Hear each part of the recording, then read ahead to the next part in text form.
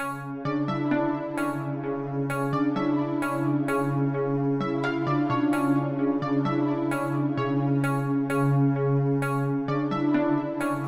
الله الرحمن الرحيم. اولا بالنسبة للحجر آه، في حجر صعبة يعني بالنسبة للنحت ومن أصعب يعني الشغلات التي تحتاج فيها الدقة مثلا والتركيز لأنه مثل مثلا هذه لازم تكون مركز. في العمل من داخل مثلا على سب يعني ال- الأكثر هم مستخدمين. الأكثر هم مستخدمين فضروري يعني تكون آه، بالنسبة ل ما تكون مثقوبة ما تكون مكسورة ما تكون فيها شيء يعني يعرضها للخطر مستقبلا. والآخر يستخدمها للزينه فقط. ف وبالنسبة لهذه يعني هي عبارة عن ال- السلاح اليمني الخاص الذي آه، يعني هو مختص لليمنيين. فهذه عبارة عن جنبيه.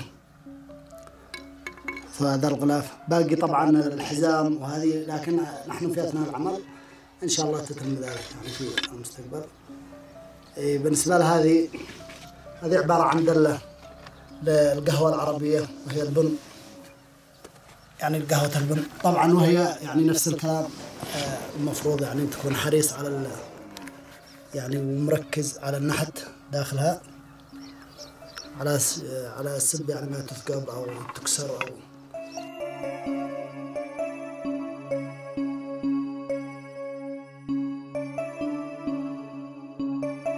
بالنسبة للقلص هذه طبعا من أصعب وأش يعني صعب جدا بالنسبة تكون يعني دقيقة ومعرضة للخطر للكسر مثلا أثناء حتى العمل. وطبعا ينبغي الحفاظ عليها حتى في المستقبل إنها تكون ثمينة ويعني كتحفة كتحفة لأن الأكثر يستخدمها كتحف داخل المجالس أو داخل المكاتب أو داخل يعني من من هذا القبيل.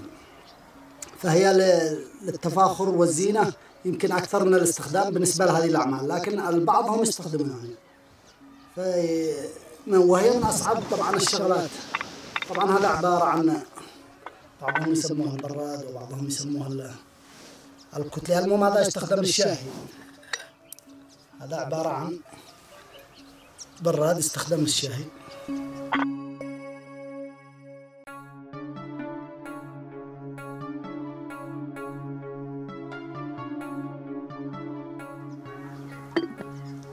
بالنسبة لهذه هي لطهي اللحم. هذه تطهي اللحم. في الدول العربية بشكل عام. وربما حتى إلى الخارج.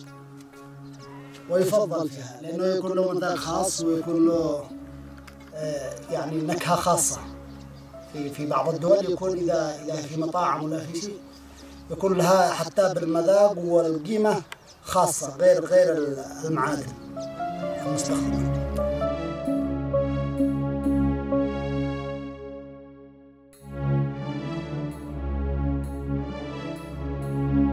بالنسبة لهذا هو هذا كنا يعني من قبل كنا في العمل التجريدي.